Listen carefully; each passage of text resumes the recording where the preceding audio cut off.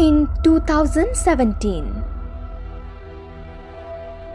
an engineer decided to take a leap of faith and resign from his high paying job in Shell to open Nasi Ayam Mafia in Bandar Baru, Tinggi.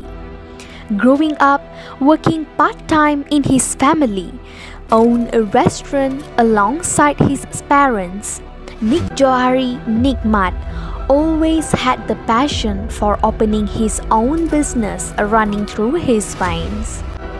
Nik Johari ventured into F&B line by opening a coffee stall at first with only one worker with him. He then added more items on the menu and managed to open four other stalls in all the span of one month.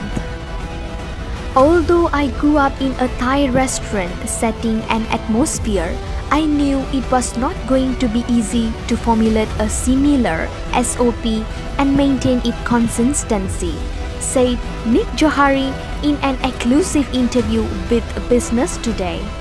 When choosing the type of food we wanted to serve, I was looking for a dish that was easy to cook so that our staff on duty could easily follow the recipe and work magic.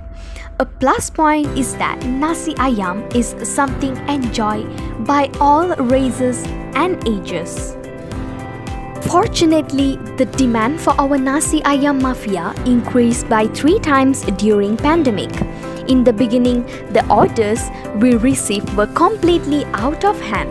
We were not able to accommodate them but we quickly redesigned the cafe infrastructure to accommodate the large amount of orders and thankfully we were able to get back on track very quickly to sustain the business, said Nik Johari.